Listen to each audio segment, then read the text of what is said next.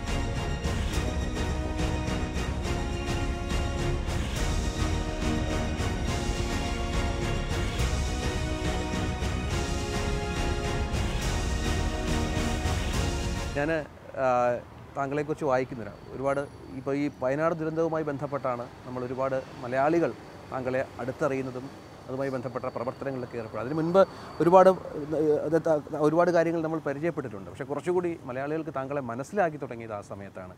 എങ്ങനെയുണ്ടായിരുന്നു വയനാട്ടിലെ ഒരു അനുഭവം? കാരണം കേരളത്തിൽ വന്ന് താങ്കളുടെ ഒരു സേവനം മലയാളികൾക്ക് വേണ്ടി അർപ്പിക്കുക എന്നൊരു നിമിഷം കൂടിയായിരുന്നല്ലോ അത്? ഒരു ഞാൻ അന്ന് പറഞ്ഞ പോലെ ഒരു എച്ച് ഡി ആർ ഓപ്പറേഷന്റെ ഭാഗമായാണ് നമ്മുടെ എത്തിയത്. അവിടെ അപ്പോൾ നമുക്ക് മനസ്സിലായ ഒരു കാര്യം. ഇവിടുന്ന് നമ്മൾ പോകുമ്പോൾ നമുക്ക് വി വെർ ആക്ച്വലി ക്ലൂലെസ് അവിടെ എന്താണ് നടക്കുന്നത്.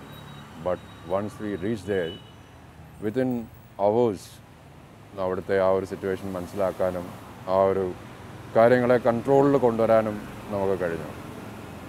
So cooperation with civil military was excellent in in Wayanad, I could see see operation of this നമ്മുടെ പോലീസ് ആൻഡ് അതർ ഓർഗനൈസേഷന്റെ വളരെ നല്ലൊരു പ്രവർത്തനമാണ് നമുക്കവിടെ കാണാൻ കഴിഞ്ഞത് especially N D R F and volunteers അത് നമുക്ക് ഈ പല വിധത്തിലുള്ള ആർമിക്ക് ഒരുപാട് രക്ഷാപ്രവർത്തി യുദ്ധത്തിനപ്പുറത്ത് ഒരുപാട് ഇത്തരം സാമൂഹ്യ സേവനപരമായ പ്രവർത്തനങ്ങളിലൊക്കെ പലപ്പോഴും ഏർപ്പെടേണ്ടി വരാറുണ്ടല്ലോ. അപ്പോൾ അതിനെ എങ്ങനെയാണ് അത് ഏറ്റെടുക്കുന്നതും അതിലേക്ക് കടന്നു ചെല്ലുന്നതും ഒക്കെ? Indian defence force basically army navy or air force or coast guard for that matter നമ്മൾ ഓപ്പറേഷൻ പോകുന്നത് with the request of state government അവരുടെ റിക്വസ്റ്റ് നമ്മളുടെ എത്തുമ്പോഴാണ് നമ്മൾ ഇത്തരം ഓപ്പറേഷൻസ് സാധാരണ അണ്ടർടേക്ക് ചെയ്യാറുള്ളത്. For that matter every organisation is fully prepared for any contingencies അത് എന്താണെങ്കിലും we are prepared for that ഈ കേരളത്തിന് താങ്കളുടെ സേവനം നമ്മൾ ഒരുപാട് പ്രതീക്ഷിക്കുന്നുണ്ട് അല്ലെങ്കിൽ അപ്പോൾ ഈ കേരളത്തിലേക്കൊക്കെ ഒന്ന് വന്ന് കൂടുതലായി ഇവിടെ കോൺസെൻട്രേറ്റ് ചെയ്യുക എന്നുള്ളതൊക്കെ അങ്ങനെ ആഗ്രഹിക്കുന്നുണ്ടോ? കാരണം ഒരുപാട് ഒരുപാട് ആർമിക്ക് വേണ്ടി സേവനം ചെയ്യുന്ന ഒരാളാണ്. അപ്പോൾ അങ്ങനെ ഒരാളെ നമുക്കും ആവശ്യമുണ്ട് പ്രധാനമായിട്ടും. Deputation yes if state government ഉണ്ടെങ്കിൽ if they are offering why not I love to കേരളത്തിൽ ജോലി ചെയ്യാൻ ഇഷ്ടപ്പെടുന്ന ആളാണ് ഒരുപാട്. യെസ് യെസ് ഏതൊക്കെ സ്ഥലങ്ങളിൽ ഇതിനകം സർവീസുമായിട്ട് ബന്ധപ്പെട്ട് യാത്ര ചെയ്ത് സേവനം നടത്തിയിട്ടുണ്ട്? Been to North India, uh, Congo, Kashmir, obviously, and uh, Thar, parts of Thar. രണ്ടായിരത്തി പതിനേഴിലെ ആ സംഭവമാണ് നമുക്ക് എപ്പോഴും ഓർമ്മ വരുന്നത് ഇന്നത്തെ ആ നിമിഷങ്ങളെ ഇപ്പോഴും എങ്ങനെയാണ് അത് ഓർക്കുമ്പോൾ മനസ്സിലുണ്ടാകുന്നൊരു വികാരം എന്താണ് Nothing, no regrets. No regrets അന്ന് ഒരു ബോംബ് വെച്ചിട്ട് പുറത്തേക്ക് ഇറങ്ങിയിട്ട് വീണ്ടും ആ റൂമിലേക്ക് കടക്കുകയായിരുന്നു അന്നത്തെ ആ ഒരു അതിലൊരു റിഗ്രറ്റ് തോന്നിയിട്ടുണ്ടോ എപ്പോഴെങ്കിലും. അങ്ങനെയാണല്ലോ ഈ വീണ്ടും ആ വെടി ഏക്കുന്ന ഒരു സംഭവം ഉണ്ടായത്. I am a soldier we are soldiers so പശ്ചാത്താപം ന ഭയം ന. നോ റിഗ്രറ്റ് നോ ഫിയർ ഇപ്പോഴും ഒരുപാട് ആളുകൾ എനിക്ക് തോന്നുന്നു താങ്കളെ ആരാധിക്കുന്ന ഒരുപാട് ആളുകൾ എന്നോടും ചോദിച്ച സംശയമാണ് ഇത്തരത്തിൽ. അങ്ങനെ ഒരു സംഭവം ഉണ്ടായിരുന്നില്ലായിരുന്നുവെങ്കിൽ ഈ ഒരു ആ ഒരു ദുരന്തത്തിലേക്ക് എത്തില്ലായിരുന്നു എന്നുള്ളത്. അപ്പോൾ അതിപ്പോഴും റിഗ്രറ്റ് ഒന്നും ഇല്ലാത്ത നിൽക്കുകയാണല്ലേ I told you I'm a soldier we are soldiers. So we generally don't carry regrets. We generally don't carry fear. ആ സംഭവം അത് ഈ നമുക്ക് അന്ന് ഞാൻ ഇത് വായിച്ചറിഞ്ഞു. ഞാൻ ഒരുപാട് കേട്ടു. പല കൂടെ മനസ്സിലായ സാധനമാണ്. അതായത് ഈ ഇവരെ നേരിടാൻ ചെല്ലുമ്പോൾ നമ്മൾ പ്രിപ്പറേഷൻസ് ഇതുമായിട്ട് ബന്ധപ്പെട്ട് കാരണം ഏറ്റവും കൊടുംഭീകരരാണ് അത്രയും ട്രെയിനിങ് കിട്ടിയ ആളുകളാണ്. അതിന്റെ ആ ഒരു സമയത്തെ എങ്ങനെയാണ് ഓർത്തെടുക്കുന്നത്? നമ്മൾ പെട്ടെന്ന് വളരെ പെട്ടെന്ന് ആ സംഭവ സ്ഥലത്തേക്ക് എത്തുന്നൊരു സാഹചര്യമായിരുന്നല്ലോ അന്ന്. We are trained for that. RR battalions, uh, Kashmir, uh, entirely we are uh, guarding Kashmir. So we are entirely prepared. I mean, uh, we are clearly and very well prepared for anything like that. ഈ ഇത്തരത്തിലുള്ള ഈ നമുക്ക് അത് എന്താണ് ഒരു ഏഹ്, രാജ്യസേവനം ഏഹ്, രാജ്യസ്നേഹം നമ്മുടെ ഒരു ആത്മധൈര്യം ഇതെല്ലാം കൂടെ കൂടി ചേർന്ന് വേണം അല്ലേ? ഇത്തരം ദൗത്യങ്ങൾ ഏറ്റെടുക്കാൻ. അതിനുള്ള ഈ ട്രെയിനിങ് അതുമായി ബന്ധപ്പെട്ട് ലഭിക്കുന്നതിന്റെ ഒരു ഗുണം കൂടിയാണോ അങ്ങനെ സംഭവിക്കുന്നത്? അത് നമുക്ക് സ്വന്തമായി സ്വതവേ ഉള്ള ഒരു ധൈര്യം കൂടി ഇതിന്റെ ഭാഗമായി വേണം? ഇന്ത്യൻ മിലിറ്ററി അക്കാഡമി അല്ലെങ്കിൽ ഓഫീസർ ട്രെയിനിങ് അക്കാഡമി അല്ലെങ്കിൽ regimental centres for that matter ഒരു ഓഫീസർ അല്ലെങ്കിൽ ഒരു ജൂനിയർ കമ്മീഷൻഡ് ഓഫീസർ അല്ലെങ്കിൽ ഒരു soldier once he undergoes the training, it makes them capable to face anything in life, anything and everything in life. ഒരു പ്രാവശ്യം അവിടെ പോയി ട്രെയിനിങ് എടുത്താലേ അതിന്റെ എഫക്റ്റ് നമുക്ക് മനസ്സിലാവും. അത് നമ്മളെ ഏത് സാഹചര്യത്തെയും അതിജീവിക്കാൻ നമുക്കൊരു മനോധൈര്യം അല്ലെങ്കിൽ പരിശീലനം തരും അല്ലേ? ഒബ്വിയസ്ലി ഒപ്പം ഈ എങ്ങനെയാണ് ഈ ഞാൻ മനസ്സിലാക്കുന്നത് കെ എസ് സി ബിയിൽ എഞ്ചിനീയർ ആയിരുന്നു. അതെ. ഐ വാസ് ഓൺ എന്താ പറയുക ടെമ്പററി ഞാൻ ചെയ്തിട്ടുണ്ട്. കെ സി ബിയിൽ എയർ ഇന്ത്യയിലും ടെമ്പററി ചെയ്തു. ഉണ്ടായിരുന്നു. അപ്പോൾ എങ്ങനെയാണ് ഈ ആർമി സേവന ഒരു പാഷനായി കണ്ടത്? ചെറുതലേ മുതലേ അങ്ങനെ ഒരു ആഗ്രഹം ഉണ്ടായിരുന്നു? Yes from childhood sir literally is a passion അപ്പം പാഷൻ ഫോർ വെപ്പൺസ് എന്ന് പറയാം. പിന്നെ patriotism obviously so I thought that I must die for my nation rather live for my nation so that's I join Indian Army. നമ്മുടെ ഈ ലോകത്തിൽ തന്നെ ഏറ്റവും മികച്ച സേനയായാണ് നമ്മൾ അറിയപ്പെടുന്നത്.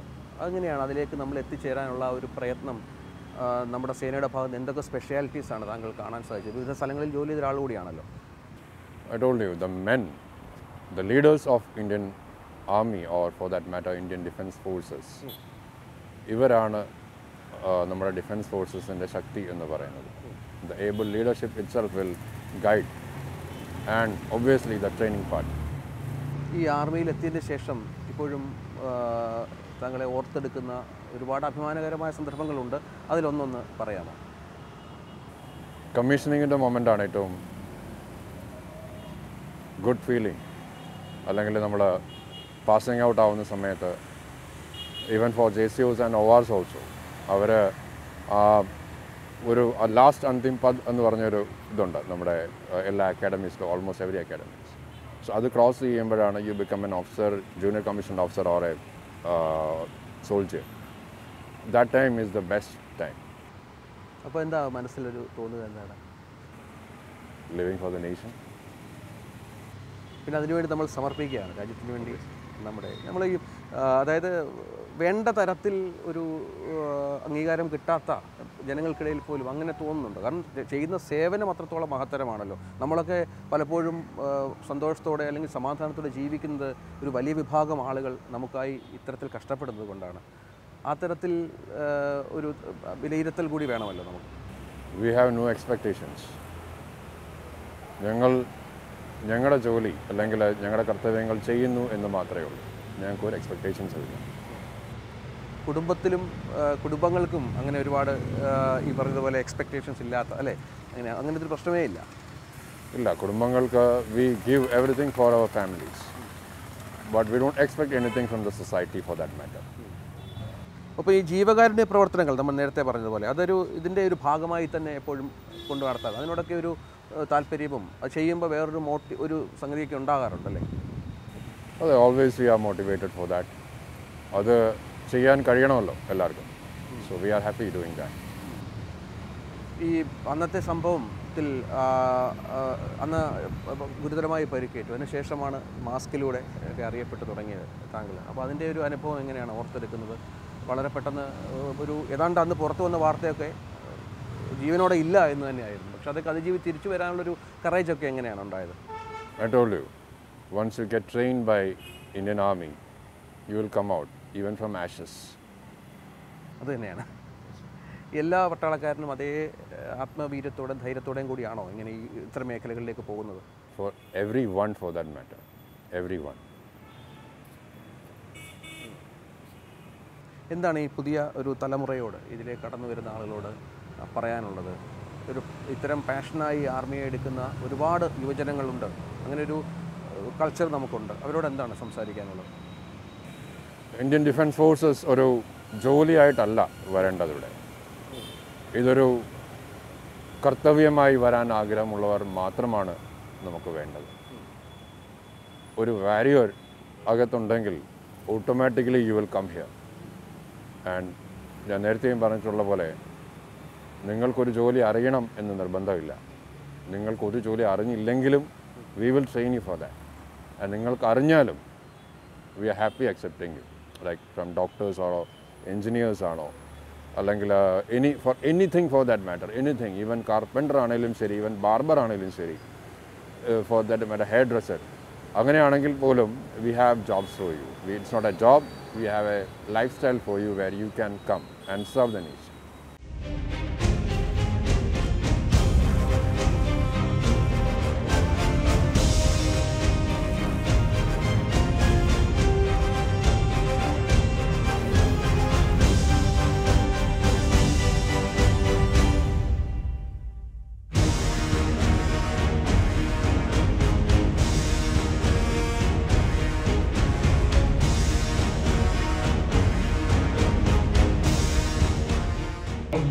you is common sense and decency to become a good leader. Understood? Yes, Okay, now tell me, what are the qualities a leader must possess? A leader should be one who does not leads them but also shows them the way, brings them, leads them the right way, and then unites them as a team. Excellent.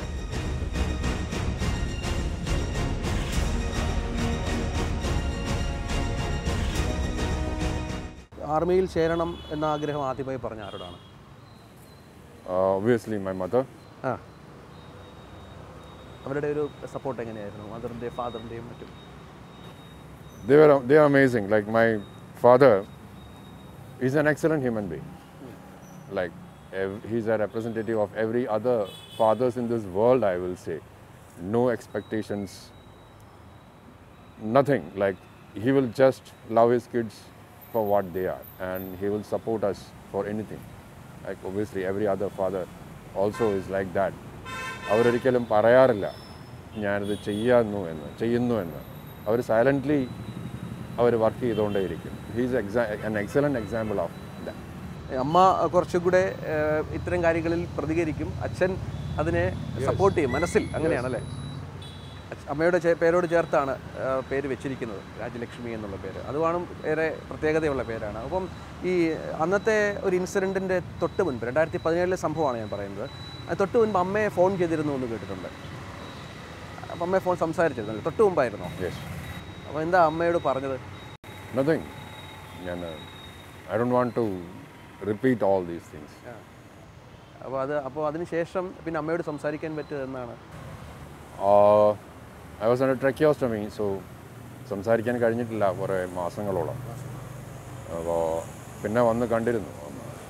So but no one cried in front of me അത് തന്നെയായിരുന്നു ഏറ്റവും വലിയ ഒരു ശക്തിയും. കാരണം അത്രമാത്രം ശക്തമായ ഒരു സപ്പോർട്ടാണ് എനിക്കുണ്ടായിരുന്നത്. അപ്പോൾ നമ്മളൊരു പേഷ്യന്റിനെ കാണുമ്പോൾ നമ്മൾ പോയി അവരുടെ മുമ്പിൽ നിന്ന് കരഞ്ഞു കഴിഞ്ഞാൽ അവരെ നമ്മൾ തളർത്തുകയാണ് ചെയ്യുന്നത്. പക്ഷെ നമ്മൾ ശക്തമായ സപ്പോർട്ട് അവർക്ക് വേണ്ടി കൊടുക്കുകയാണെങ്കിൽ they will never realise never realise the pain for that matter ഈ കേരളത്തിലേക്ക് വന്നു. കേരളത്തിന്റെ ഒരുപാട് സ്നേഹം ഇപ്പോൾ ഏറ്റുവാങ്ങുന്നുണ്ട്. അല്ലേ? അതൊരു വല്ലാത്ത ഒരു ഫീൽ തരുന്നില്ലേ? നമ്മുടെ ഒരു മലയാളി ഈ കുറച്ചുകൂടെ ഈ വയനാട് ദുരന്തവുമായി ബന്ധപ്പെട്ട് താങ്കളെ ഇവിടെ അംഗീകരിക്കുന്നു. ആ തരത്തിൽ താങ്കളെ കരുതുന്നു എന്ന് പറയുമ്പോൾ? അംഗീകാരത്തിന് വേണ്ടി ഞങ്ങൾ ഒരിക്കലും വർക്ക് ചെയ്തിട്ടില്ല. മനസ്സിൽ നമുക്കൊരു പിന്നെ അമ്മമാരുടെ വേറൊരു ജോലി ചെയ്താലും ഈ ഫീൽ കിട്ടുമെന്ന് തോന്നുന്നില്ല. എല്ലാ ജോലിക്കും അതിന്റേതായ മാന്യതയുണ്ട് എന്ന് വിശ്വസിക്കുന്നു ഞാൻ. പിന്നെ അച്ഛനും ഈ അമ്മമാരുടെയൊക്കെ മെസ്സേജുകൾ കാണാറുണ്ട്. അപ്പോൾ അത് കാണുമ്പോൾ ഒരുപാട് സന്തോഷം തോന്നാറുണ്ട്. ഈ കേരളത്തിൽ വയനാടിന് മുൻപും വയനാടിന് ശേഷമാണല്ലോ അല്ലേ കുറച്ചുകൂടി ഒരു ആളുകൾ ഒരു ഫാൻ ആയി മാറുന്നത് താങ്കളുടെ പലരും? അങ്ങനെയില്ല. അങ്ങനെയൊന്നും കരുതാറില്ല. ആ, അങ്ങനെ കരുതാറില്ല. ശരി ശരി. അപ്പോൾ മറ്റു കാര്യങ്ങളിലേക്ക് കടന്നു കഴിഞ്ഞാൽ നമുക്കിനിയും ഈ ഒരുപാട് ആളുകൾ ഒരുപാട് യുവതലമുറ ഒരുപാട് പേർ ഇപ്പോൾ നേരത്തേതിനേക്കാളും കുറച്ചുകൂടി ആർമിയിലേക്കും നമ്മുടെ വരാൻ ആഗ്രഹിക്കുന്നുള്ളതായിട്ട് കരുതുന്നുണ്ടോ? ഇപ്പോൾ എന്താ ഒരു മാറ്റം ഫീൽ ചെയ്യുന്നത്? ഒബ്വിയസ്ലി കാരണം ഇപ്പോൾ കേരളത്തിൽ തന്നെയാണെങ്കിലും എനിക്ക് വന്ന മെസ്സേജസൊക്കെ ഞാൻ വായിക്കുമ്പോൾ എനിക്ക് മനസ്സിലാക്കാൻ കഴിയുന്നത് ഒരു ദേശസ്നേഹം അല്ലെങ്കിൽ ആർമി എന്താണ് എന്ന് ഇതുവരെ മലയാളികൾക്ക് അറിയില്ലായിരുന്നു. ഇപ്പം ഞാൻ ചോദിക്കുകയാണ് ആർമിയും സി ആർ പിയും ബി എസ് എഫും സി ഐ എസ് എഫും ഒക്കെ തമ്മിലുള്ള വ്യത്യാസം എന്താണെന്ന് ചോദിച്ചാൽ പോലും പലർക്കും അറിയില്ല. അതുതന്നെ പലപ്പോഴും വിഷമിപ്പിച്ചിട്ടുണ്ട്. എന്ന് തന്നെ പറയാം വിഷമിപ്പിച്ചിട്ടുണ്ടെന്ന് തന്നെ പറയാം. അപ്പോൾ ഇന്ത്യൻ ആർമി എന്താണെന്ന് കുറച്ചുകൂടി കേരള ജനത മനസ്സിലാക്കാൻ മനസ്സിലാക്കട്ടെ എന്ന് ഞാൻ ആഗ്രഹിക്കുന്നു. ഈ ഒരുപാട് ഒരുപാട് മെസ്സേജുകൾ വരാറുണ്ട്. എന്താ അവർ കൂടുതലും അറിയാൻ ആഗ്രഹിക്കുന്നത്?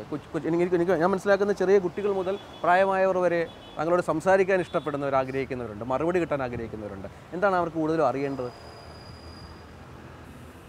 മൾട്ടിപ്പിൾ തിങ്സ് ലൈക്ക് എന്താണ് ഇഞ്ചുറി എന്താണ് പറ്റിയത് എന്താണ് ആർമി സോ എന്റെ സ്പീച്ചസിലൂടെ ഞാൻ കൊടുക്കാറുണ്ട് പറയാറുണ്ട് അവരറിയേണ്ടതൊക്കെ. അവർക്ക് മറു എല്ലാവർക്കും മറുപടി കൊടുക്കാൻ ശ്രമിക്കാറുണ്ടല്ലേ പരമാവധി? കഴിവിന്റെ പരമാവധി ഞാൻ സോഷ്യൽ മീഡിയ ഒന്നും ഉപയോഗിക്കാറില്ല. സോ അറിയില്ല. But I come to know through my friends ഈ നമ്മുടെ പരിശീലനങ്ങളെക്കുറിച്ച് കുറിച്ച് നേരത്തെ പറഞ്ഞു. ആർമിയിലെ ട്രെയിനിങ്ങിനെ കുറിച്ചൊക്കെ ഒരുപാട് പറഞ്ഞു. അപ്പോൾ ഈ കൂടുതൽ കൂടുതൽ ആളുകൾ ഇതിലേക്ക് വരുമ്പോൾ അവർക്ക് ഈ ഇതിനോട് ഒരുപാട് പേർക്ക് ചിലപ്പോൾ ഇതിൽ കംപ്ലീറ്റ് ആക്കാൻ പറ്റാതെ പോകുന്നവരും ഒക്കെ ഉണ്ട് എന്നാണ് മനസ്സിലാകുന്നത്. അപ്പോൾ അങ്ങനെ ഒരു പൂർണമായ പാഷനോട് കൂടി തന്നെ വേണം അല്ലേ ഇതിലേക്ക് വരാൻ you will become a complete human being once you join Indian Army, അല്ലെങ്കിൽ Indian Defense Forces. Let it be Navy, Air Force, Coast Guard, CISF, CRP, whatever. So they will give you a wonderful training. അപ്പോൾ ആ ഒരു അഞ്ച് വർഷമാണെങ്കിലോ അല്ലെങ്കിൽ ആറ് വർഷത്തെ സേവനമാണെങ്കിൽ പോലും you will learn how to live a complete life ആ ഒരു അഞ്ച് വർഷം മതി ആ ഒരു ബെഡിങ് പീരീഡ് എന്ന് പറയുന്നത് അല്ലെങ്കിൽ ആ ഒരു ട്രെയിനിങ് പീരീഡ് അല്ലെങ്കിൽ ആ ഒരു service period that will make you a complete wonderful human being ഞങ്ങൾ കേരളത്തിൽ ഇനിയും പ്രതീക്ഷിക്കാം താങ്കളെ. താങ്കൾ ഇങ്ങോട്ട് വരാൻ ആഗ്രഹിക്കുന്നുണ്ട്. ഒരുപാട് ഒരു ആഗ്രഹമുണ്ടെന്ന് ഞാൻ മനസ്സിലാക്കും ഒരു ഒരുപാട് ഒരുപാട് താല്പര്യപ്പെടുന്നുണ്ട്. അപ്പോൾ അങ്ങനെ നമുക്ക് എത്രയും പെട്ടെന്ന് പ്രതീക്ഷിക്കാം അല്ലേ? Again it's all about government ഇവിടെ എന്താണ്? ഇപ്പോൾ അങ്ങോട്ട് ഒരു ഓപ്പറേഷൻ ഇവിടുത്തെ ഒരു രീതി എങ്ങനെയാണ്? എന്താണ് ഇവിടുത്തെ ഒരു വർക്ക് എന്താണ് നടക്കുന്നത്?